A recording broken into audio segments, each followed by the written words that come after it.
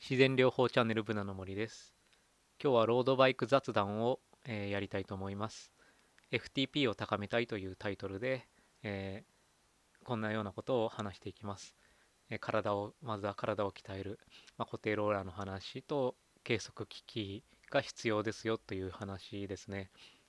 はい。え私は、まあ、ロードバイクに乗る目的って、まあ、いい景色を見たいとか自然の中を走りたいとかまあいろいろあるんですが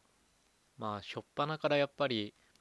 なんだか知らないけど周りとの競争心が出てきちゃってあのストラバっていうアプリを入れてまあストラバっていうのはあのその辺走ってますとあの区間のタイムとかが出てきて順位が出てききちゃうんですけどまあそれ意識し始めたらまあ、順位とかタイムとかちょっと気になっちゃってあのついつい頑張っちゃうんですよね。ゆっくり走りたいななんて思っててもそうなっちゃうんですよね。であの去年の5月、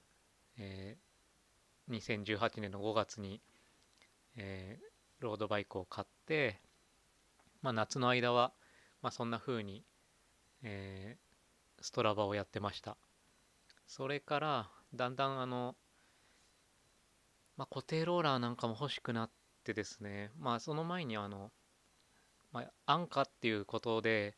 あの1万円の3本ローラー買いました。で私は集合住宅えマンションに住んでるので、まあ、騒音が一番気になったんですね。でやっぱりあの部屋の中じゃちょっと3本ローラーは無理であの結局ベランダに出してやってました。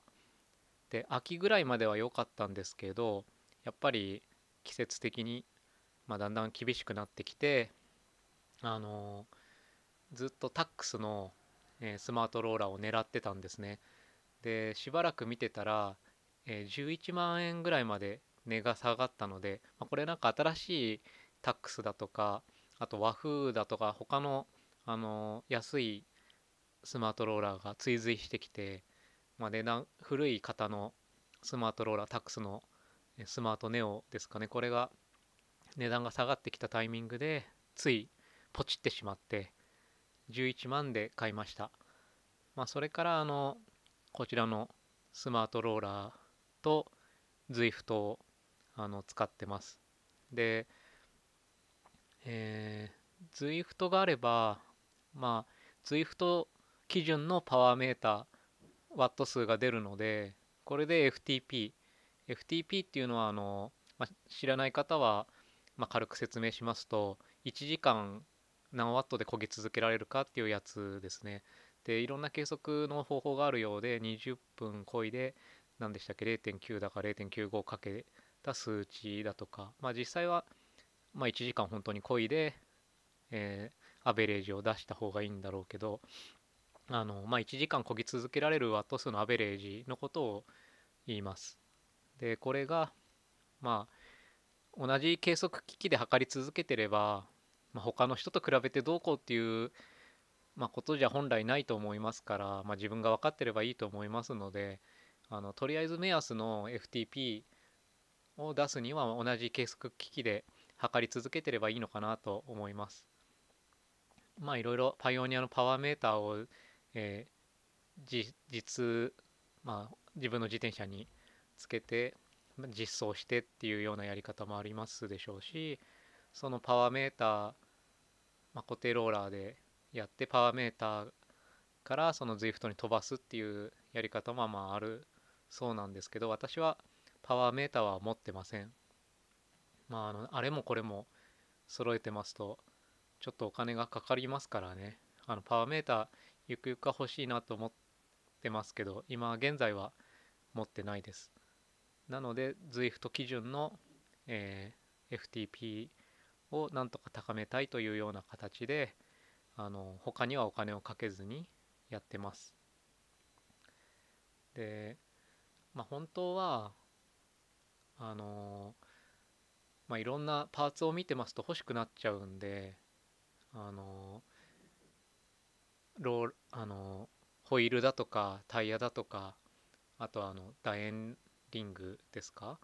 だとかまあ本当にいろいろ欲しくなっちゃうんですけど今はちょっとまあ我慢してあのまずあるもので頑張ろうと思って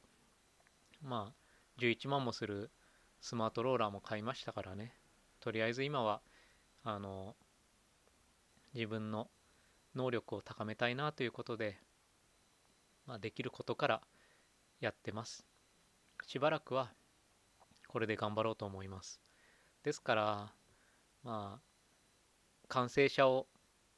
買ってからですねそれ以上、まあ、ノーマルのまま乗ってていじってません。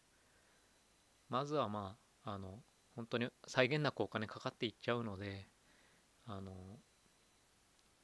まあ、最初20万もする自転車もすごい高いなって思ってましたしまあそれを思い切って買ったっていうのもありますしで自転車買ったらやっぱりあのクリートペダルだとかそれに伴う靴だとかウェアだとかヘルメットだとかアイウェアだとかまあ買ってたらもう10万20万すぐいっちゃいましたしそれプラススマートローラー買ってるんでもう4 5 0万あの使っちゃったっていう感じですよね。でまあ自転車始める前は山登りやってたんで山やってる方は分かってもらえると思うんですけどすごいケチケチなんですよね山登りする人たちって。まあ全員じゃないかもしれませんけどね。あの私なんか地方で登ってますから地方の山屋なんて本当にあのあるもので登ってるっていう感じですからね。ファッションよりもまああの実力重視って感じでまあだからって実力があるわけじゃないんですけどまあそんなにねあのお店もないですからまああるもので登るっていう感じからそのロードバイクに入ったのであの40万50万って山の世界から考えたらすごいお金がかかるんですね。あの、まあ、ロードバイクをの世界にずっとハマってる方はもう本当にいくらでもお金かけて、まあ、金銭感覚ちょっと私もそうですけど狂ってきてるんで、まあ、そうなるとは思うんですけどまあやっぱり40万50万ってすごいお金なのでまあちょっとねしばらくはおとなしく買わずにおとなしくしてようかなって感じです。で、まあ、だからってその、まあ、何かに取り組まないとっていうかあのつまらないので今は自分の体を鍛えるということをやってます。で FTP は、えー、150ぐらいから私はスタートしました。で今うんまあばらつきは出るんですけど、まあ、160とか180とかまあそれぐらいですね。調子がいいと180ぐらいいくしっていう感じです。で体重の方はですね今、まあ、これもばらつきがあるんですけど100あ57キロから58キロぐらいをうろちょろしてます。で体脂肪が結構あってですね21%とか。まああの体重計での数値ですけどそれぐらいあります。もうちょっとあの体脂肪を落としてもいいかなっていう感じですね、まあ、できれば16%ぐらいを目指してます。で筋肉を落とさないようにまあ、体脂肪だけ落としていきたいなっていう感じですね。そうすると体重でいうと55とかになるんですかね。まあまずはそこを目指してやってそれからですかね。あのもうちょっと自転車にお金をかけていきたいなと考えています、まあ、今回は、えー、こんなところで雑談を終えたいと思います。よかったらチャンネル登録お願いします。